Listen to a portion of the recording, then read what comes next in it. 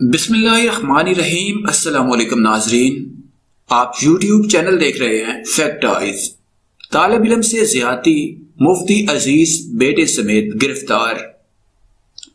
Video की तफसील में जाने से पहले आप तमाम दोस्तों से गुजारिश है कि YouTube के इस मुनफरद चैनल फैक्ट आइज़ को सब्सक्राइब करके बेल के निशान को दबा दें, ताकि हमारी हर नई आने वाली वीडियो का नोटिफिकेशन आपको फ्री में मिल सके। इस वीडियो को लाइक करने के साथ साथ कमेंट बॉक्स में अपने कीमती ख्याल का इजहार ज़रूर करें।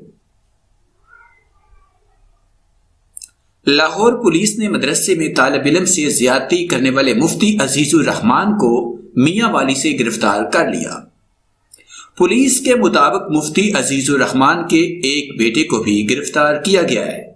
मुफ्ती अजीजुर रहमान और इनके बेटे मुबैना ज्यादती की वीडियो सामने आने के बाद से रूपोश थे। मदरसे में तालब इलम से मुबैना ज्यादती में मुलवस मुफ्ती अजीजुर रहमान को बेलाखिर मियावाली से गिरफ़्तार कर लिया गया।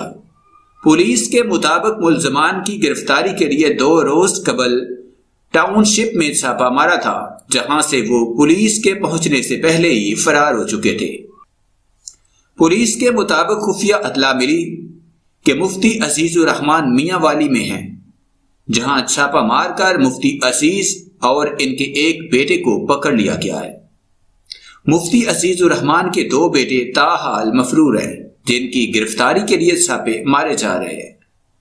मुफ्ती अजीजुर रहमान और इनके बेटों के खिलाफ साबर शाह नामी तालब इलम ने थाना सदर में मुकदमा दर्ज करा रखा है। जिसमें मुफ्ती अजीजुर रहमान पर तीन साल तक ज़्यादा का निशाना बनाने और इनके बेटों के खिलाफ धमकियाँ देने के इल्ज़ाम लगाए गए हैं। पुलिस के मुताबिक मुफ्ती अजीजुर रहमान की तालब इलम से मुबैना ज़्यादा की वीडियो चंद रोज कबल मंजर आम पर आई थी। जिसके बाद मुफ्ती अजीजुर रहमान ने एक वीडियो बयान में कहा था कि जब यह मामला हुआ, वो होश में नहीं थे।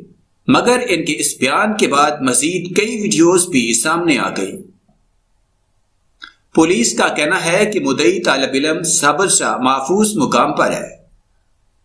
दूसरी जानब वीडियोस सामने आने के बाद मुफ्ती अजीजुर रहमान को मुतलका मदरसे से निकाल दिया गया था, जबकि जमीयत इस्लाम ने भी मुफ्ती अजीजुर रहमान की रुकनीत मुअत्तल कर दी थी।